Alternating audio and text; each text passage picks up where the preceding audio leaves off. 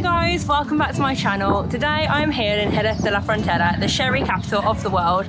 But not only is it famous for its sherry, but also for its dancing horses and flamenco, which is the reason I'm here today as they're celebrating their famous horse fair. So come with me and let's see what it's all about.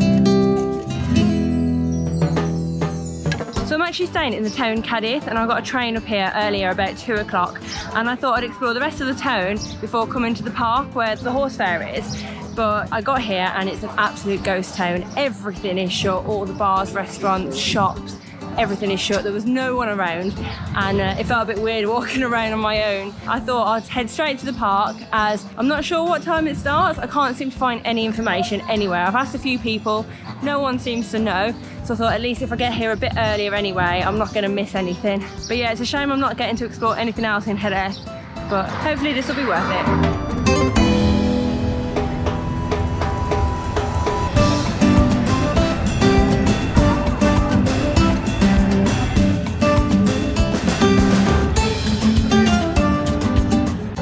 This is definitely the park anyway. I can see the atmosphere is growing, but I have got here a little bit early. There's loads of places set up later for people to eat, like restaurant stands, and all these arches up here covered in lights, which are all going to be lit up later. The floor is covered in sand. It kind of feels like I've gone back in time a little bit, but yeah, it's absolutely boiling. I can see why they say come a bit later on. But yeah, I wonder what time things are going to start happening. There's loads of women dressed up in flamenco dresses, loads of men wearing suits. It's obviously a really special occasion for everyone here.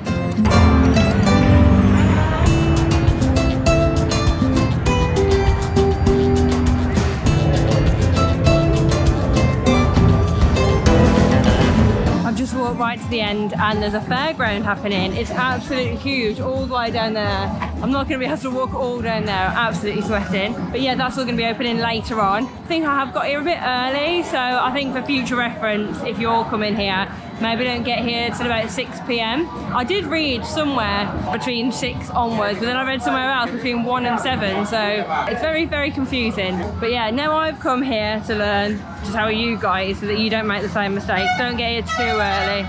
Unless you want to eat food here and stuff, and there's loads of options for that. And I just heard a guy shout there, beer, one euro, so very cheap as well. Just a random bit of information for you there as well. It took me 30 minutes to walk from the train station to here, and I saw a few buses lined up outside. And I asked them if there's any running back to the train station later, and they said yeah. Up until 4 a.m. there's buses running to the train station. So fingers crossed if I can find the right one, I don't have to walk half an hour back to the train.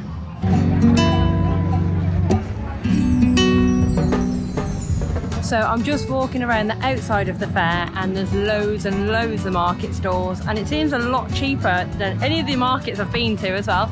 I bought myself a little necklace. This was only five euros and this is the same one I've seen in loads of other places for 15 euros. So I'm really happy with that.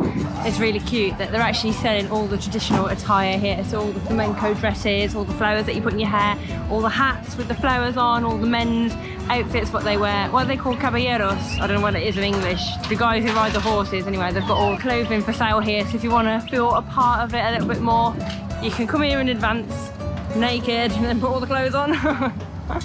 Jump in the fair.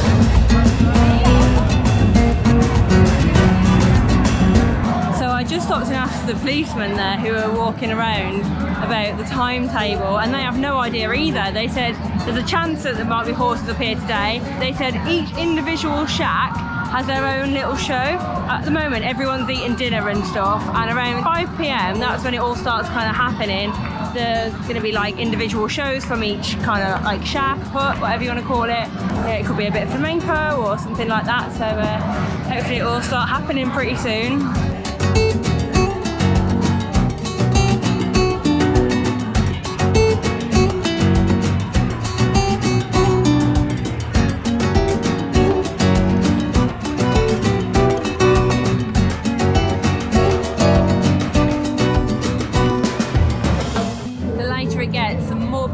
Turning up. Everyone is dressed in flamenco dresses. Everyone looks really smart. You can see how important it is for all these people. It's actually a 500 year old tradition and it's actually one of the grandest festivals in all of Andalusia. There's over 1 million lights that will light up this place later. There's 206 arches and over 200 food stalls, so this is huge.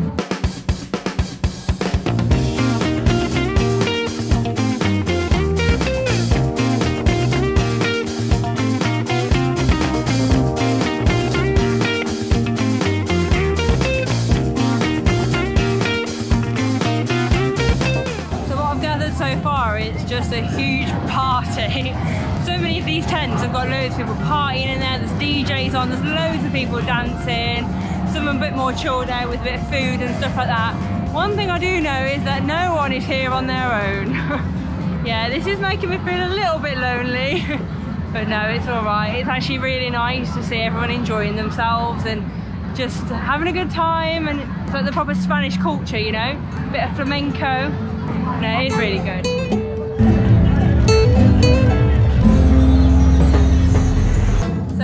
I was just wandering around on my own and I decided to sit at the little roundabout over there and I met Jill. I didn't know if she was Spanish because she had a little flower in her hair, but I thought, you know what, I need to just put myself out there, try and meet somebody. And I just said, do you speak English? And yeah, so we found another English lady here and um, I feel a little bit more part of the experience now. We've come to one of the bars, sat down, we're going to get some food. Yeah, it just makes us feel a little bit more part of it. Really nice to meet Millie and uh, apparently the horses are going to be here tomorrow. They're not here today, but this makes up for it yeah, so we heard from a Spanish man that the horses aren't actually coming today. All they're doing today is lighting up all these arches, and I think that's going to be around 9 pm, around sunset. So I'm absolutely gutted that I'm going to miss the horses because that is one of the reasons that I came here today. But luckily for Jill, she's going to be here another few days, so she's going to come back tomorrow and see it. But yeah, let's enjoy our gazpacho and what have you gone for? Tortilla? Tortilla. Tortilla. Tortilla and some olives and stuff, so yeah, let's sit there and enjoy this. So I'm just leaving now as apparently the horses aren't coming today at all. Absolutely gutted. That was the main reason I wanted to go and check it out, even though I've got a fear of horses. so that would have been quite weird. But no, I think that would have been lovely. Apparently the horses are on at 12 o'clock tomorrow. But yeah, that's it for me anyway. It's just getting busier and busier.